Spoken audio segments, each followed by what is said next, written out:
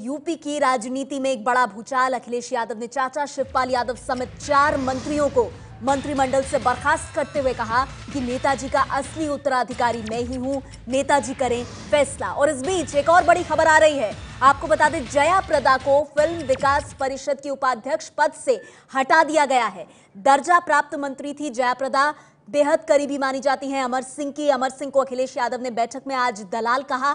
कहा, अमर सिंह के जितने करीबी हैं, उन सब पर कार्रवाई करूँगा। और उसी कड़ी में इस वक्त की बड़ी खबर ये कि जया प्रदा को फ़िल्म विकास परिषद के उपाध्यक्ष के पद से हटा दिया गया है। बाकायदा मंत्री का दर्जा, राज्य मंत्री का दर्जा प्राप्त था जया प्रदा को, लेकिन अमर सिंह के करीबियों पर जो कार्रवाई हुई, उसकी गाज जया प्रदा पर गिरी है।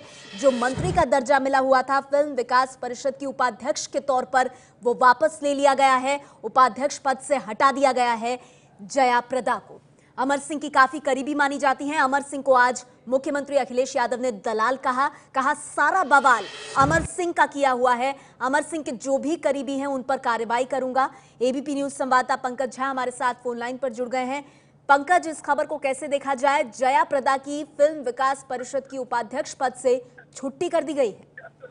देखिए, इसमें कहीं रत्ती भर के तो गुंजाइश बचती नहीं जब उन्होंने अमर सिंह को मुख्यमंत्री ने दलाल कहा, उनके सारे बातों का ब्यौरा दिया, किस तरीके से उन्होंने साजिश रची है अखिलेश यादव के खिलाफ तो ज़ाहिर सी बात है कि जयाप्रदा उनकी सबसे करीबी सहयोगी हैं तो उनको पद पे कैसे रखते और इसीलिए राज्य मंत्री का दर्जा था, फिर विकास परिषद का जो उपाध्यक्ष उन्होंने बनाया था, अभी करीब तीन चार महीने पहले की बात है, उनकी पद पर से छुट्टी कर दी। जब उन्होंने साफ़ साफ़ कह दिया अखिलेश यादव ने कि अमर सिंह दलाल हैं, उन्होंने ये सारी साजिश रची है, उनके घर पे जो डिनर हुई थी, वहीं से ये सारा शुरू हुआ खेल।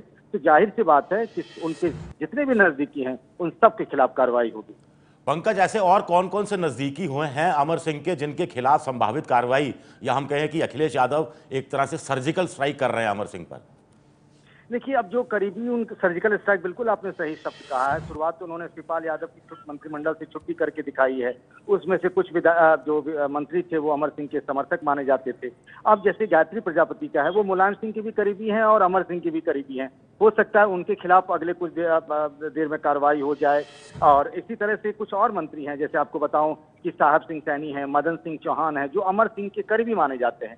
इन सब के खिलाफ हो सकता है कि अगर उन्होंने सरेंडर नहीं किया या कुछ इस तरह की बात नहीं बनी तो इनके खिलाफ आने वाले कुछ घंटों में, आने वाले कुछ दिनों में अखिलेश संभावित तौर पर कार्रवाई करेंगे।